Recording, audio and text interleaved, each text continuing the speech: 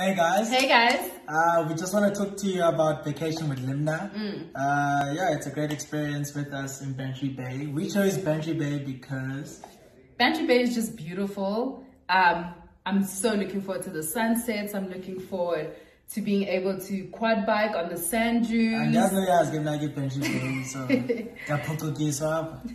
I'm so looking forward to the fine dining that's in Cape Town. I'm looking forward to, you know, maybe a sunset champagne cruise. That would be really nice.